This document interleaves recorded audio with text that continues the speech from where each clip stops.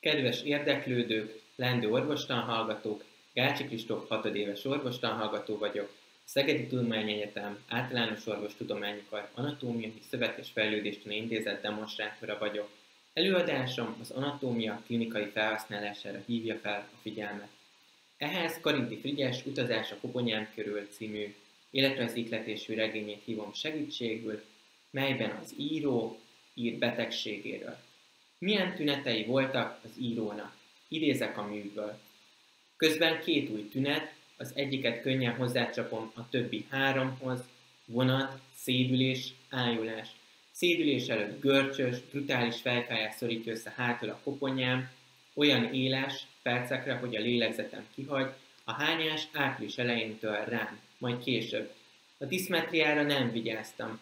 Ez egy jelentéktelennek látszó tünet. A beteg, ha behúnyt szemmel vízszintesen kinyújtja a karját, az egyik kezét parányival feljebb emeli. Semmiség, ugye? És mégis csalhatatlanul azt jelenti, hogy az agyvelő ugyanazon oldalán, rendszerint a kisagyban üzemzavar állott be.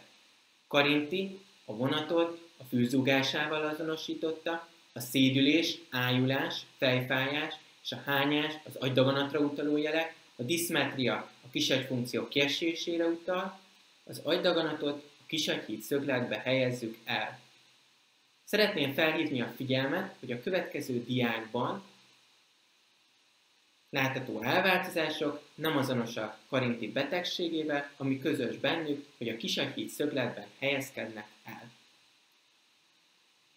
Helyezzük el a kisagyhíd szögletet a fej horizontális metszetén. A diákon elhelyeztem egy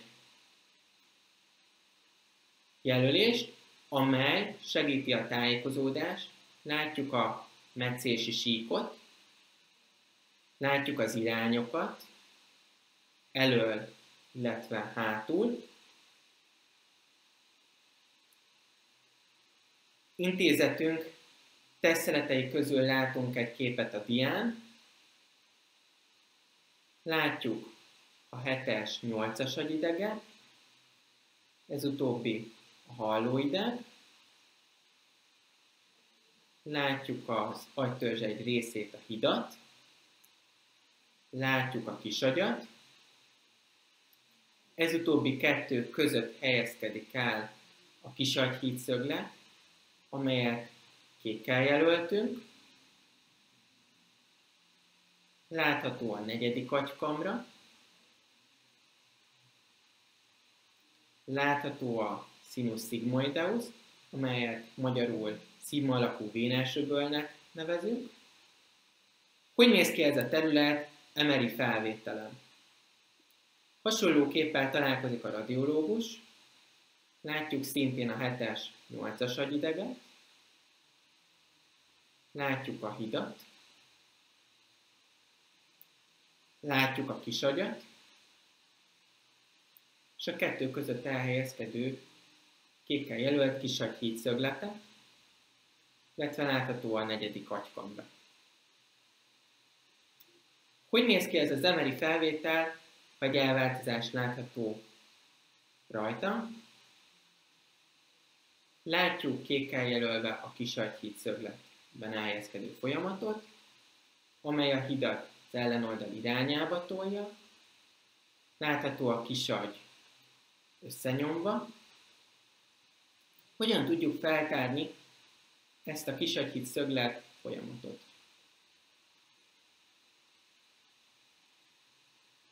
Látható a koponya megnyitásának a helye, zölden jelölve. Látjuk a sinus sigmoideus, amit említettünk korábban. Majd a sinus transversus, melyet magyarul barátvénás öbölnek nevezünk. A koponya megnyitásának helye a sinus sigmoides mögött helyezkedik el, majd a dia jobb oldalán látható a jól ismertetett horizontális metszeten a képleteknek az elhelyezkedése. Látjuk a feltárásnak a helyét. Látható a 7-es, 8-as aditek látható a híd, a kisaj,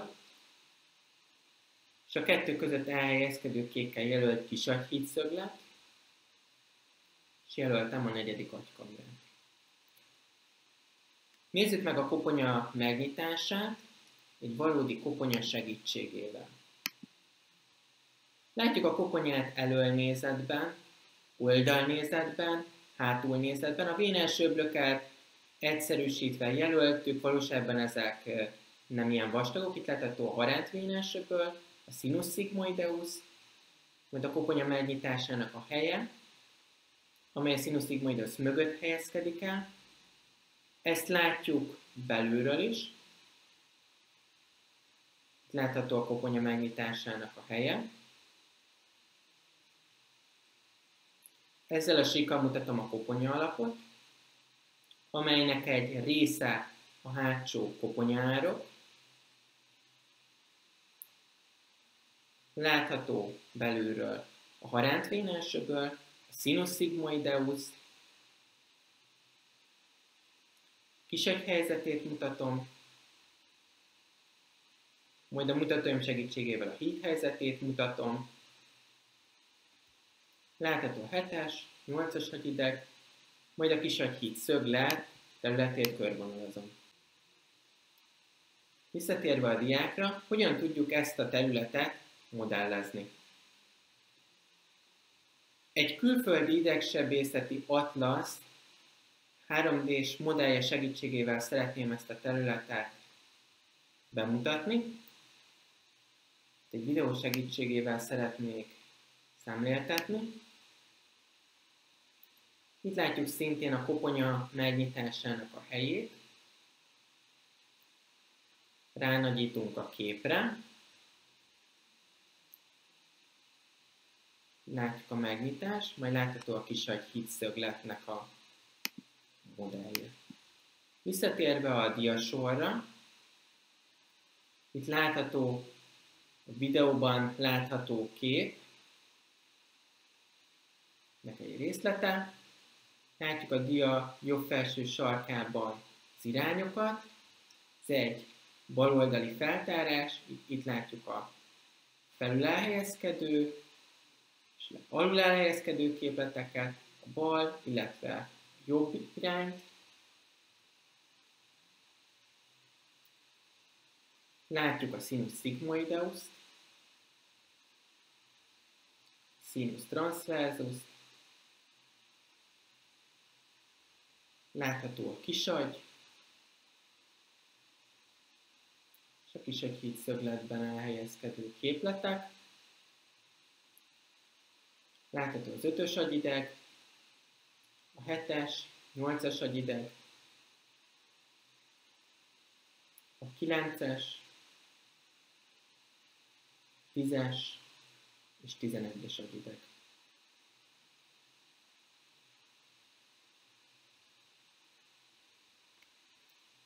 Miért fontos a preparálás? A mondás szerint itt Mortói Vívóz docent, itt a holtak tanítják az élőket. Ezen a dián a magyar anatómiai oktatás kiemelkedő alkotásait gyűjtöttem össze. A dia bal felső sarkában látjuk Szent Ágotali János háromrészes funkciális anatómiájának egyik kötetének a borítóját, a dia jobb felső sarkában látjuk a Szentágotai féle anatómiai atlaszból az egyik rajzot. Feltüntettem Vajda János anatómiai atlaszának borítóját, amely már preparátum alapú atlasz. Ma is fontos az anatómiai oktatásban tömbölterészféle tájanatómiai atlasz. Intézetünk egyik professzora, professzor dr. Gerriert Albert már 1936-os beiktatási beszédében felhívta a figyelmét a következőkre. Igen fontos tehát, hogy a mai tanítási rendszer mellett minél megfelelőbb segédeszközöket tudjunk a fiatal orvos generáció hasznára fordítani. Számos preparátum készült a professzor által amelyből elkészült ma a nevét viselő Gellért Albert Múzeum, A dián látjuk a múzeum egyik preparátumát, nevezetesen a koponya alap idegekkel.